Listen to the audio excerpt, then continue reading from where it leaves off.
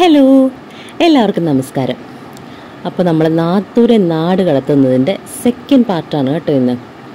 അപ്പോൾ നമ്മൾ പാക്കിംഗ് ഒക്കെ കഴിഞ്ഞ് പിറ്റേ ദിവസം നൈറ്റ് ട്വൽവ് ഒ ക്ലോക്കാണ് നമ്മൾ വീട്ടിൽ നിന്ന് ഇറങ്ങുന്നത്. ഫോർ തേർട്ടി ഫൈവിനാണ് അവളുടെ ഫ്ലൈറ്റ് നമുക്ക് നമ്മുടെ വീട്ടിൽ നിന്ന് എയർപോർട്ടിലേക്ക് ഒരു മണിക്കൂർ ദൂരമേ ഉള്ളൂ കേട്ടോ. അപ്പോൾ അത് കാരണം പന്ത്രണ്ട് മണിയാകുമ്പോൾ നമുക്ക് ഇറങ്ങിയാൽ മതി. നമ്മൾ ഒരു മണിയാകുമ്പോഴേക്കും അങ്ങ് എത്തും. പിന്നെ നൈറ്റ് കൂടി ആയതുകൊണ്ട് അങ്ങനെ വലിയ ബ്ലോക്ക് ഒന്നും ഇല്ലാണ്ട് വേഗം എത്താം ഇവളാണെങ്കിൽ ടെൻഷൻ കൂടിയിട്ട് പോകുന്ന ടൈം ആയപ്പോഴേക്കും പുള്ളിക്കാരിക്ക് ഭയങ്കര ടെൻഷനായി അപ്പോൾ അവൾ അവിടെ ഇരുന്ന് ചേട്ടന്റെ അടുത്ത് ഫ്ലൈറ്റിൽ കയറുമ്പോൾ എങ്ങനെയാണ് അങ്ങോട്ടുള്ള പ്രൊസീജിയേഴ്സ് എന്തൊക്കെയാണ് എയർപോർട്ടിലേക്ക് എന്റർ ചെയ്ത് കഴിഞ്ഞാൽ അതൊക്കെ ഇങ്ങനെ ചോദിച്ചുകൊണ്ടിരിക്കുക അപ്പോൾ ഞാനും ചേട്ടനും ആണെങ്കിൽ നമുക്ക് ഫ്ലൈറ്റ് മുന്നേ ട്രാവൽ ചെയ്തൊരു എക്സ്പീരിയൻസ് ഉള്ള കാരണം അങ്ങ് തള്ളി മറിച്ചുകൊണ്ടിരിക്കുകയാണേ ഇങ്ങനെ ഇനി പേടിക്കൊന്നും വേണ്ട അങ്ങനെ ചെയ്താൽ മതി. നേരെ ചെന്നിട്ട് ചെക്ക് ഇൻ ചെയ്യേ. പിന്നെ ഇമിഗ്രേഷനിലേക്ക് പോകും അങ്ങനെയൊക്കെ പറഞ്ഞിട്ട് നമ്മളങ്ങനെ ഓരോ കാര്യങ്ങളും ഇങ്ങനെ പുള്ളിക്കാരിക്ക് ഡീറ്റെയിൽ ആയിട്ട് പറഞ്ഞു കൊടുത്തുകൊണ്ടിരിക്കുകയാണ്. കണ്ടോ? സൈഡിൽ കൂടി ഞാനാണെങ്കിൽ അങ്ങനെ എക്സ്പ്രഷനൊക്കെ ഇട്ടങ്ങ് തള്ളി മറിക്കുന്നുണ്ട്. കുറച്ച് കഴിഞ്ഞപ്പോഴേക്കും എല്ലാവരും റെഡി ആവാമെന്നും പറഞ്ഞിട്ട് അങ്ങനെ പല വഴിക്ക് പിരിഞ്ഞു. ഞാനാണെങ്കിൽ ഒരു ഗെറ്റ് റെഡി വിത്ത് മീ എടുക്കണം എന്നൊക്കെ വിചാരിച്ച് അങ്ങനെ ഇരിക്കുമ്പോഴാണ് എന്റെ മകളും എന്റെ അനന്തരവളും കൂടി വന്നിട്ട് അമ്മായി എനിക്കും വേണം കെട്ടടി വിത്ത് മീ എന്ന് പറഞ്ഞത്. അങ്ങനെ എന്റെ കെട്ടടി വിത്ത് മീ ഏകദേശം തീരുമാനമായി. പിന്നെ ഞാനങ്ങ് പിള്ളേരെ ഒരുക്കാനായിട്ട് തുടങ്ങി. ആദ്യം എന്റെ മോൾ വന്ന് നിന്നു. ക്യാമറയുടെ ഫ്രണ്ടിലൊക്കെ നിന്ന് അവൾ എക്സ്പ്രഷനൊക്കെ ഇട്ട് പോസൊക്കെ കൊടുത്തു തുടങ്ങി. സാധാരണ ഞങ്ങൾ മേക്കപ്പ് ചെയ്യാനായിട്ട് നിന്ന് കഴിഞ്ഞാൽ ഞാനും മോളും കൂടി നല്ല യുദ്ധമാണ്. ഇന്നിപ്പോൾ ക്യാമറയൊക്കെ ഓൺ ആയിട്ടിരിക്കുന്നത് കാരണം അവൾ കുറച്ച് ഡീസന്റ് ആയിട്ടൊക്കെ ഇരിക്കുന്നുണ്ട്. പിന്നെ അവൾക്കാണെങ്കിൽ ആകെ ഒറ്റ ഡിമാൻഡേ ഉള്ളൂ. ഞാൻ എന്റെ മുഖത്ത് എന്തൊക്കെ ചെയ്തിട്ടുണ്ടോ അതൊക്കെ അവൾക്കും ചെയ്തു കൊടുക്കണം. അങ്ങനെ അവളുടെ ഒരുക്കം കഴിഞ്ഞു. അടുത്ത ആൾ വന്നിരുന്നു. പുള്ളിക്കാരിക്ക് പിന്നെ വലിയ ഡിമാൻഡ്സ് ഒന്നുമില്ല. നമ്മൾ ഒരുക്കി അങ്ങ് വിട്ടാൽ മതി. അങ്ങനെ അവൾക്ക് ആവശ്യമുള്ള കാര്യങ്ങളൊക്കെ ചെയ്തു കൊടുത്തു. പിന്നെ അവൾ മുന്നേ പറഞ്ഞു പുള്ളിക്കൊരു യൂട്യൂബ് ചാനലൊക്കെ ഉണ്ട്. അപ്പോൾ അതിലിടാനായിട്ട് എനിക്കൊരു ഗെറ്റ് റെഡി വിത്ത് മീ വേണം. അതുകൊണ്ട് എനിക്ക് അമ്മായി അങ്ങനെ ഒരുക്കി തന്നെ എന്നൊക്കെ അവൾ പറഞ്ഞു. അങ്ങനെ അവളുടെ ഇഷ്ടത്തിനൊക്കെ അവളെ റെഡിയാക്കി കൊടുത്ത് അതൊരു വീഡിയോ ഒക്കെ ആക്കി പുള്ളിക്ക് കൊടുത്തിട്ടുണ്ട്. അങ്ങനെ അവളുടെ ഒരുക്കമൊക്കെ കഴിഞ്ഞപ്പോഴേക്ക് ഏകദേശം പോകാൻ സമയമായി. പിന്നെ ഞാൻ ചെന്ന് ഡ്രസ്സൊക്കെ മാറി ആദ്യം ഇട്ടിരുന്ന ഡ്രസ്സൊക്കെ ഉരുമാറ്റി രണ്ടാമത്തെ വേറെ ടോപ്പൊക്കെ എടുത്തിട്ടു. അങ്ങനെ നമ്മൾ ഇറങ്ങുകയാണ്. ആക്ച്വലി ഇറങ്ങാൻ നേരത്തെ ആ വീഡിയോ ഒന്നും നമുക്ക് എടുക്കാൻ പറ്റിയില്ല. വീട്ടിൽ നിന്ന് ഇറങ്ങുന്ന ആ പോർഷനൊന്നും എനിക്ക് എടുക്കാൻ പറ്റിയില്ല. അപ്പോഴേക്കും നമ്മൾ കുറച്ച് ഫോട്ടോസൊക്കെ എടുത്ത് അങ്ങ് ഇറങ്ങുക ചെയ്തത്. അങ്ങനെ നമ്മൾ വീട്ടിൽ നിന്ന് ജസ്റ്റ് പുറത്തേക്ക് ഇറങ്ങുകയാണ്. അപ്പോൾ ഈ ഒരു പോർഷൻ മാത്രമേ ഞാൻ എടുത്തിട്ടുണ്ടായിരുന്നുള്ളൂ. പിന്നെ നമ്മൾ കാറിൽ കയറി നല്ലിരുട്ടായിരുന്നു വീഡിയോ എടുക്കാൻ നോക്കിയപ്പോഴേക്കും. അത് കാരണം നമ്മൾ കാറിലിരുന്ന് അധികം വീഡിയോസ് ഒന്നും എടുത്തില്ല. പിന്നെ പിള്ളേരൊക്കെ ആണെങ്കിൽ ഒരു ചിൽ മൂഡായിരുന്നു ഡാൻസൊക്കെ കളിച്ച്. അവരാണെങ്കിൽ ഒരു ട്രിപ്പ് പോണ പോലെ അടിച്ചു പൊളിച്ച് അങ്ങ് പോവുമായിരുന്നു. അങ്ങനെ നമ്മൾ എയർപോർട്ടിലേക്ക് എത്തി. നൈറ്റ് ടൈമിൽ എന്ത് ഭംഗിയല്ലേ നമ്മുടെ എയർപോർട്ട് കാണാനായിട്ട്. നമ്മളെപ്പോഴും എയർപോർട്ടിലേക്ക് കയറുമ്പോൾ ആ ഒരു ഡിപ്പാർച്ചർ ഏരിയയിലേക്ക് കയറുന്നത് എപ്പോഴും ഒരു വിഷമത്തോടെ ആയിരിക്കും അല്ലേ? അറൈവലിന്റെ ഏരിയയിലേക്കാണെങ്കിൽ എക്സൈറ്റ്മെന്റും സന്തോഷവും എല്ലാം ആയിരിക്കും. പക്ഷെ ഡിപ്പാർച്ചർ എന്ന് പറയുമ്പോൾ നമുക്ക് എപ്പോഴും ഇച്ചിരി വിഷമം തരുന്നൊരു ഏരിയയാണ്. അങ്ങനെ നമ്മൾ എയർപോർട്ടിലേക്ക് എന്റർ ചെയ്തു. അപ്പോൾ ആ സമയത്ത് ഒരുപാട് ഫ്ലൈറ്റുകൾ ഡിപ്പാർട്ട് ചെയ്യുന്ന ടൈം ആയതുകൊണ്ട് തന്നെ അത്യാവശ്യം നല്ല തിരക്കുണ്ടായിരുന്നു. ലേറ്റ് നൈറ്റ് ആണെങ്കിലും ഇഷ്ടംപോലെ ആൾക്കാരും ഒക്കെ ഉണ്ടായിരുന്നു. പിന്നെ നമ്മൾ കുറച്ച് നേരം അവിടെയൊക്കെ നിന്ന് അവൾക്ക് കാര്യങ്ങളൊക്കെ പറഞ്ഞു കൊടുക്കാനായിട്ടൊക്കെ കുറച്ച് നേരം അവിടെ വെയിറ്റ് ചെയ്തു. പിന്നെ നമ്മളുടെ ഫ്ലൈറ്റ് അവിടെ ചെക്ക് ഇൻ സ്റ്റാർട്ട് ചെയ്തോ എന്നൊക്കെ നോക്കുന്നുണ്ടായിരുന്നു. പിന്നെ അവൾക്കാണെങ്കിൽ ആ സമയം അപ്പോഴേക്കും വീണ്ടും ടെൻഷൻ തുടങ്ങി. അറിയാമല്ലോ എല്ലാവരെയും വിട്ടു പോകുന്നതിന്റെ ഒരു സങ്കടമുണ്ട്. ഫസ്റ്റ് ഫ്ലൈറ്റ് ആയതിന്റെ ഒരു ടെൻഷനും ഉണ്ട്. അപ്പോൾ എല്ലാം കൂടി പുള്ളി ആകപ്പാടെ ടെൻഷൻ കയറി തുടങ്ങി.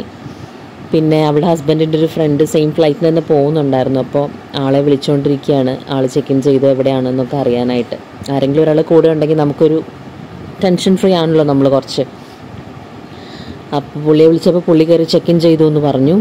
അപ്പോൾ നമ്മൾ ഇവിടെ ചെക്ക് ഇൻ ചെയ്യാനായിട്ട് അങ്ങ് അകത്തേക്ക് പോവുകയാണ്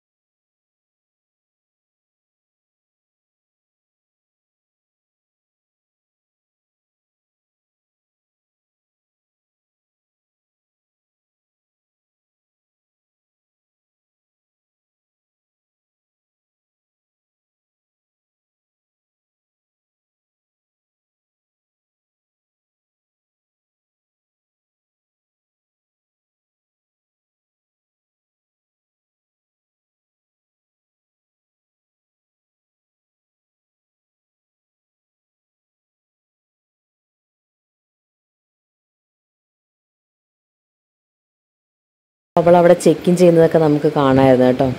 അപ്പോൾ നമ്മൾ അവിടെ നിന്ന് നോക്കുകയാണ് അവളുടെ ബാഗേജസൊക്കെ ക്ലിയർ ചെയ്ത് പോകുന്നുണ്ടോ?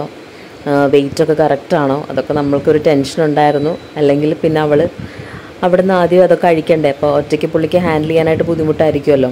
അപ്പോൾ നമ്മൾ അവിടെ നിന്ന് അതൊക്കെ നോക്കുമായിരുന്നു കുഴപ്പമൊന്നുമില്ല എല്ലാം ക്ലിയർ ആയി കിട്ടി. അവളുടെ ഹാൻഡ് ലഗേജ് വരെ അവർ മറ്റ് ലഗേജിന്റെ കൂടെ തന്നെ കയറ്റി വിട്ടു. അങ്ങനെ അവളുടെ ഇമിഗ്രേഷൻ കൂടി ക്ലിയർ ചെയ്തതിന് ശേഷമാണ് നമ്മൾ അവിടെ നിന്ന് പോകുന്നത്. അപ്പോൾ പിള്ളേർക്കാണെങ്കിൽ ആ സമയത്ത് എസ്കലേറ്ററിൽ കയറണം എന്ന് പറഞ്ഞിട്ട് അവർ മാമനെയും പിടിച്ചുകൊണ്ട് എസ്കലേറ്ററിൽ കയറാൻ പോയി. പിന്നെ നമ്മളാണെങ്കിലും കുറച്ച് നേരം അവിടേക്ക് ഒന്ന് സ്പെൻഡ് ചെയ്തു. കുറച്ച് കഴിഞ്ഞപ്പോഴേക്കും അവിടെ ക്യൂ ഉണ്ടായിരുന്നു ഇമിഗ്രേഷൻ കൗണ്ടറിന്റെയൊക്കെ അവിടെ. അത് കാരണം കുറച്ചധികം നേരം നമുക്ക് അവിടെ നിൽക്കേണ്ടി വന്നു. കുറച്ച് കഴിഞ്ഞപ്പോൾ അവൾ വിളിച്ച് പറഞ്ഞു ഇമിഗ്രേഷനൊക്കെ ക്ലിയർ ആയി. എല്ലാം ഓക്കെയാണ് അവൾ ഗേറ്റിന്റെ അടുത്തേക്ക് പോവുകയാണ് എന്ന്.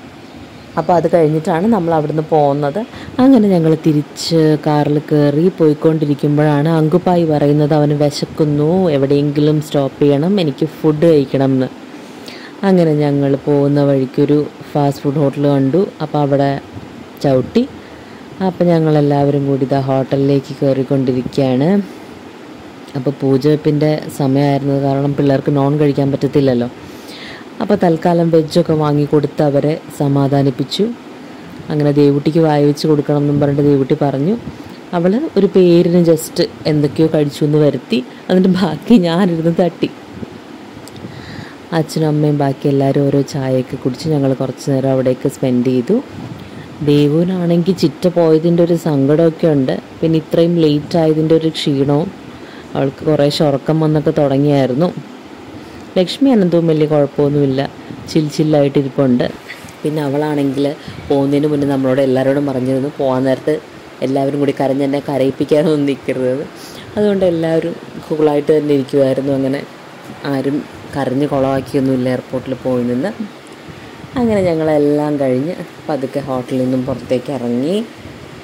ഇനി നേരെ വീട്ടിലേക്ക് വെച്ചിരിക്കുകയാണ് കേട്ടോ. ഇപ്പം തന്നെ സമയം ഒരുപാടായിട്ടുണ്ട്. മൂന്ന് മണിയൊക്കെ കഴിഞ്ഞിട്ടുണ്ട് ഞങ്ങൾ അവിടുന്ന് ഇറങ്ങുമ്പോൾ മൂന്ന് മണി മൂന്നരയൊക്കെ ആയിട്ടുണ്ട്.